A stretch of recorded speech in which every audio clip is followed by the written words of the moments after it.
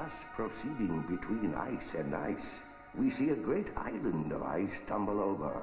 A good warning to us not to come Being here. fearful of the ice coming down upon us, I gave up the design I had formed of plying to the I west. told the men that to help each other meant death for all.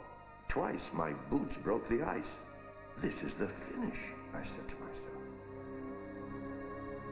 Ice. A drifting, frozen sea. The awful cold.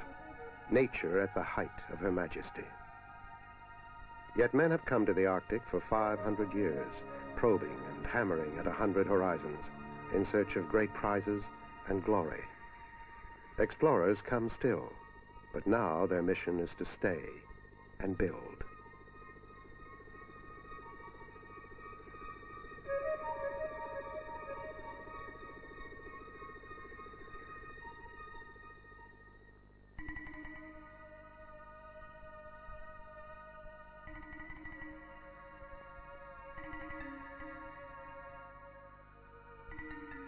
They were here first.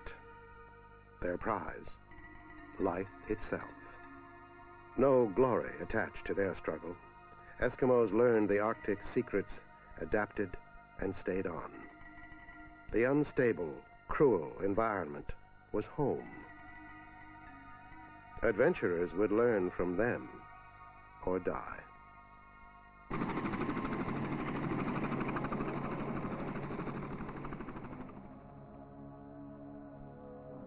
Henry Hudson came in the years between 1607 and 1610. He sought the Northwest Passage, a shortcut to the riches of the East. The next day we had a great storm and were driven to put in amongst the ice there to lie. Some of our men fell sick. I will not say from fear, though I saw no other symptoms to explain their sickness. Mutiny, hunger, and death overcame Hudson. He and his son set adrift, abandoned to the ice.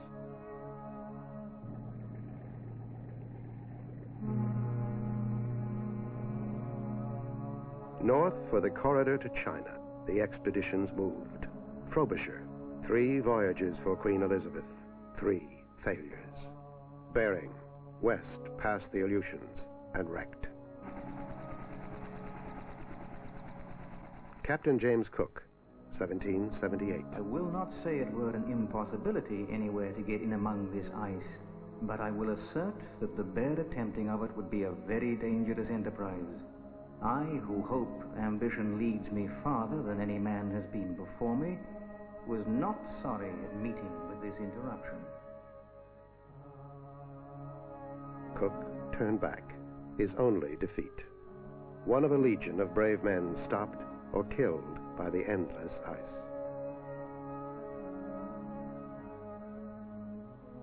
Franklin, frozen in the ice off Victoria Island. 129 men, the entire expedition, lost. The Greely expedition, 1881 1884. Jones is worse and can't last more than two or three days. Craig is nearly helpless.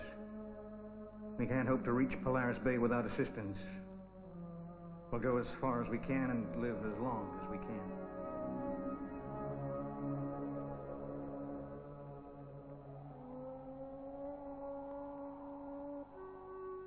Robert Peary moved against the Arctic ice four times. The assault in 1909 gave him the North Pole. We returned from the pole to Cape Columbia in only 16 days. The exhilaration of success lent wings to our sorely battered feet. But Ootah, the Eskimo, had his own explanation. Said he, the devil is asleep or having trouble with his wife, or we should never have come back so easily. Man against the Arctic. The challenge continues today, and nature is always the winner when she is discounted, forgotten, or misunderstood.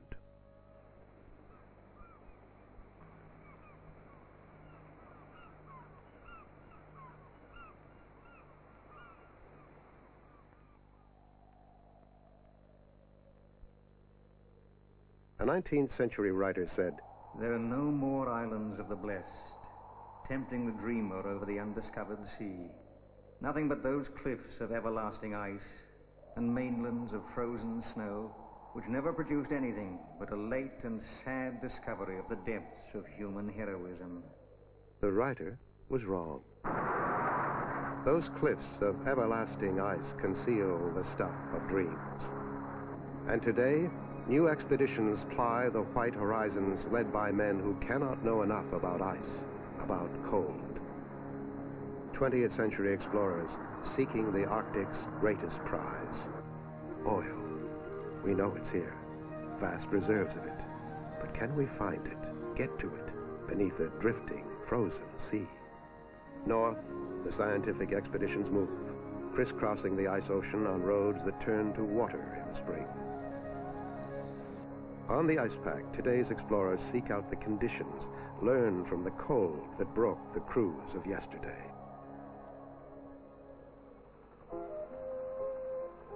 East of Barrow, north of Alaska in Arctic waters. An island made of gravel, made by man, standing tall in the Beaufort Sea. An island designed to break the moving packs of ice. We monitor the ice practically all the time. We got people out there and a lot of fancy instruments. Guns, too, in case the polar bears want to play. If that ice pack really starts moving, we'll go on alert. Quit drilling and get ready to move out. Temperature can get down to 50 below. I want to tell you, it ain't the Gulf of Mexico. But gravel islands, as good as they are, as strong, are impractical in deeper Arctic waters.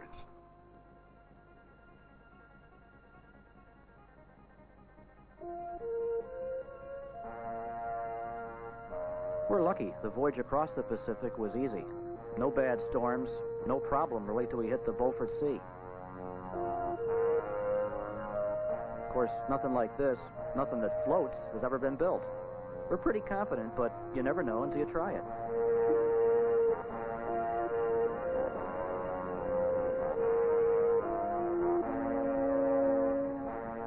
Sixty-five thousand tons of engineering knowledge, at home where no other structure has stood, built to withstand and also adapt to the forces massed against it.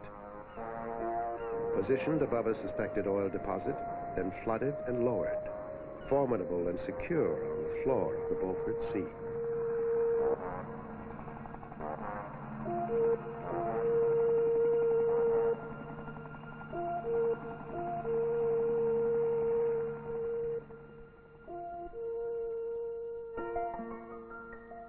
Defense, the great concrete and steel Sentinel sprays up to 16,000 gallons of seawater a minute into the sub-zero air of late October, making ice. Ice against ice. A solid wall rising from the ocean floor to hold back the Arctic's most awesome assault. Pack ice. This is the tricky time. We look frozen in, but this ice is still moving, and we're still a long way from getting the ice wall up.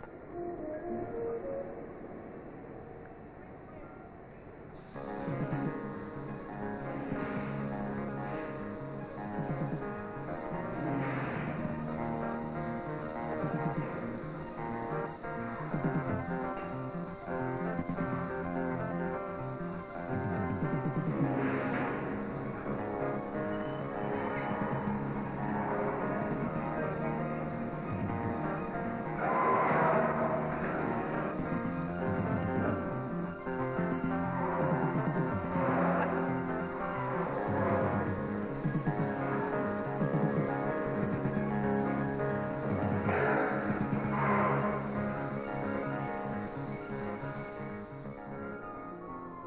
November. That's the end of the sun for two months. Still drilling, but nothing to show for it yet. We'll see what happens and worry some more in the spring when the ice starts moving again.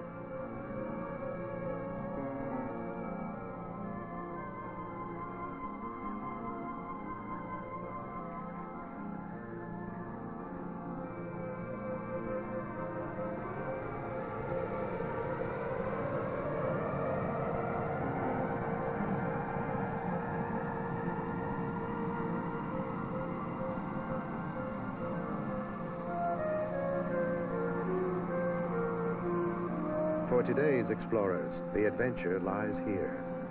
The challenge and the glory, buried miles beneath the ice.